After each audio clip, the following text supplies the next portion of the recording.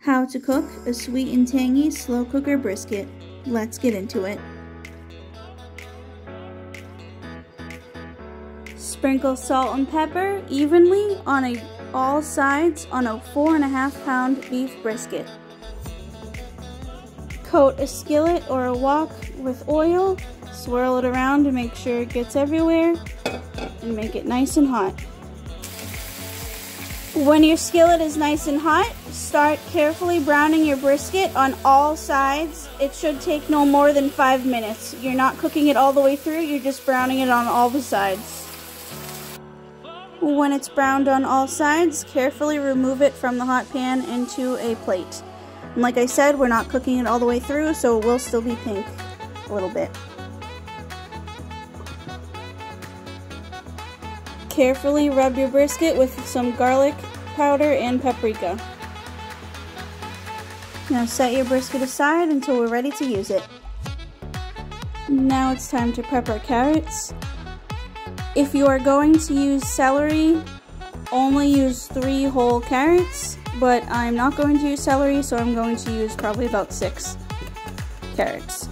You want to rinse and wash these well.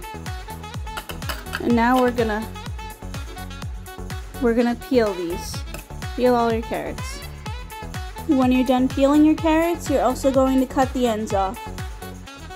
And when that's done, we're gonna cut our carrots into thirds.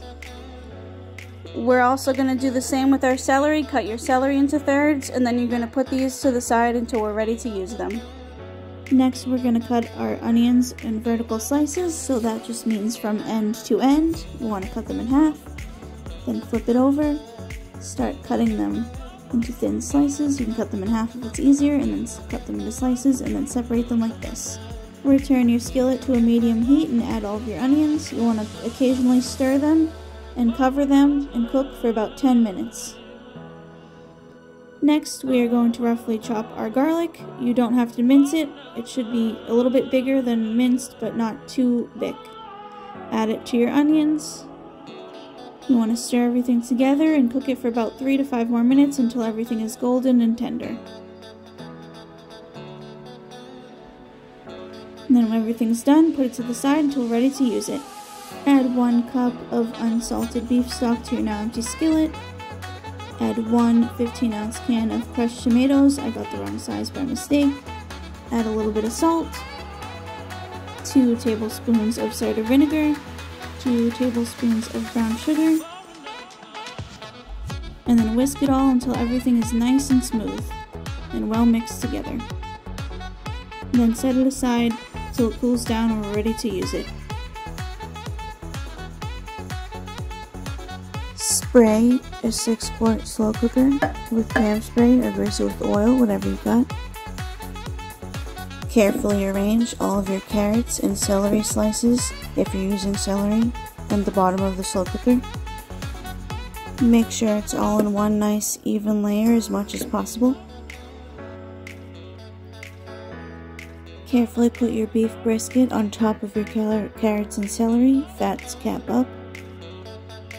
Take your cooled down onions and garlic mixture and carefully arrange it on top of the brisket in one nice even layer.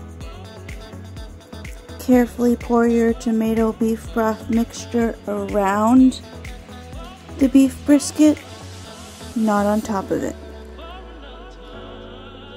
If some of the sauce mixture gets on the brisket, that's totally fine. Just do your best to evenly distribute it to the sides as much as possible. Cover. Let it cook for 7 hours on low. After 7 hours, turn your machine off, unplug your machine, and then let the brisket sit in the machine for 1 hour. Don't take it out, don't touch it.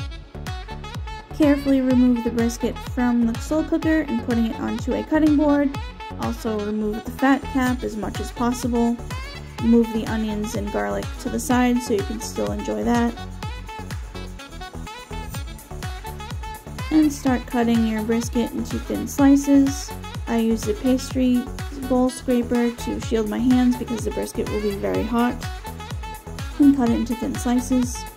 Then take a slotted spoon and start to strain out your carrots. If you want to add some of the broth into your carrots, that's totally fine. Feel free to add some of the broth as well onto your meat. And then when you're ready, serve and enjoy.